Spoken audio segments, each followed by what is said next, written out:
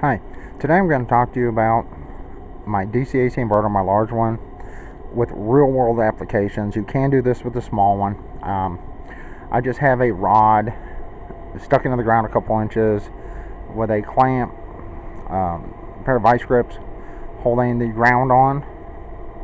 Um, if I needed to use this full time, it would actually be properly grounded. Uh, usually there is a lid on it.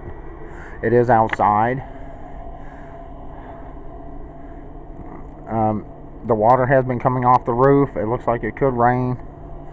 Um, see if I can get a better shot of this. I did it hook up a regular plug. It comes around the inside of the box and goes to this outlet box.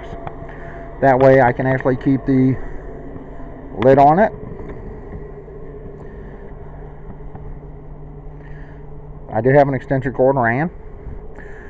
Um, a lot of people tell you try to tie into plugs like this. If you do, you have to make sure your main breaker's off. And remember one thing, if it's a ground fault plug, it will not work at all. And these plugs only carry 15 amps.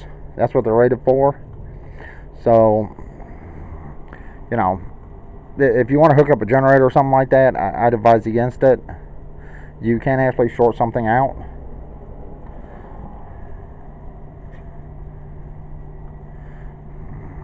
All right let's go on inside. Now I do have my extension cord hooked up. Now I'm going to show you real world applications. I will apologize right now because I will be shutting off the main power to this place. I really hope you can see what I'm doing. Um, I do have the extension cord plugged into a power box. Little um, protection box, surge protector. And this is the cord right here that goes to my fridge. Once again, I'm inside, I really have to apologize. And I will have to use this camera on this because I will be shutting the power off. There's a small extension cord. I actually should have got out a bigger extension cord running to my coffee pot all right? I will not pause this or do anything else until I show everything. I'm coming to my main breaker box. I really hope you can see. In fact let me grab a flashlight real quick. I do have the door open as much as possible. Um, okay. I apologize if you can't really see this. Here's my fridge and it is working. It is on.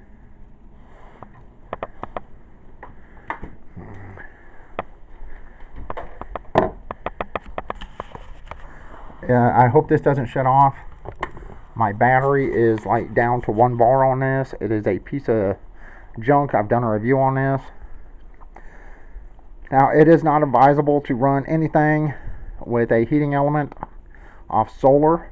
Can you do it? Yes um, if you're going to, I advise you have more batteries and as much solar as you can possibly have.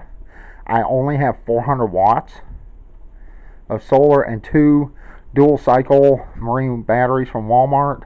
They are lead acid. I did check the water level the other day and topped it off with um, distilled water.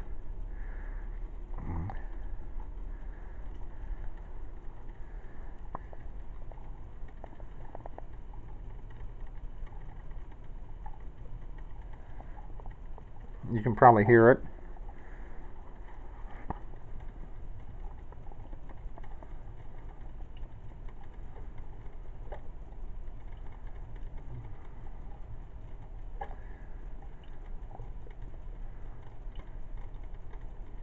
I hope you can see the coffee. It is actually making. And once again, um, here's my coffee pot wire, my plug, and it goes down here. And there's midnight. Of course there's midnight. He's just a stinker. And once again it's plugged into here. So for real world applications having a power inverter is a really good thing, really good idea. You could actually use this on your vehicle instead of on solar like I'm doing now. Um, after I let this run, I will unhook it and let my solar batteries charge back up. It's kind of a dismal day, so it'll take a while. Um, but yes, a power inverter can be used for real world applications. I do have a 12 volt inverter. And once again, the reason I'm using my large inverter instead of my small PowerBright on this is I do not have a case built for my PowerBright inverter yet. So if water drips off the roof or, you know, it starts to rain or snow or anything, my large inverter is protected. My PowerBright inverter is not. So that's why I'm using my large inverter. And if you're going to run certain things like refrigerators, my PowerBright inverter will run my fridge. Uh, I apologize, my fridge is black. Um,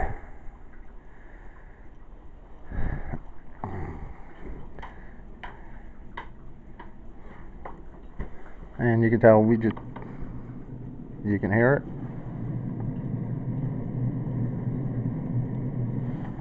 And this is running straight off my inverter. Let's get back to the coffee pot real quick. Oh yeah. It's running just like it would on a regular plugged outlet. So in a real world situation is a power inverter worth it? That's all up to you. Um, I'm gonna go ahead and turn my power back on. I have to apologize for the beeping that will happen, apparently. Yeah, right over there. It's my little dryer thing. Um, but in a real world situation, let's turn all these lights on. Maybe you can get a better view.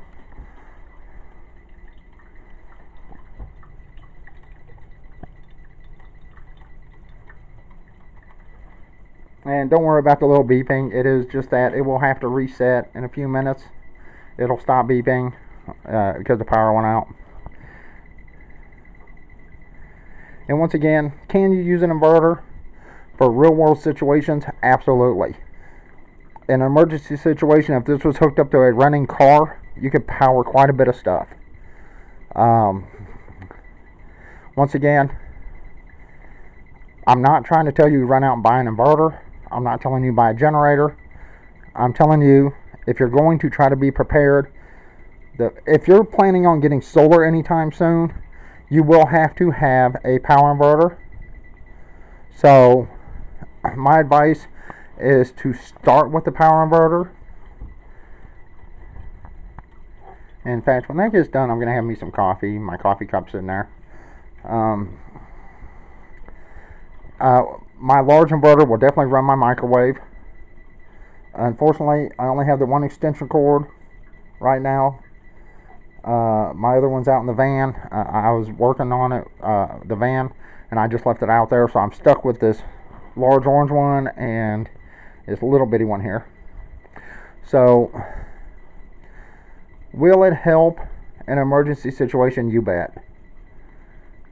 Even if you have 100 watt of solar, and a single battery, you can actually run a fridge. But remember, the key is do not open your fridge unless you absolutely have to. Uh, once it gets cold, you want it to stay cold. Alright, anyway, I wanted you to see it working in the real world and what it can do.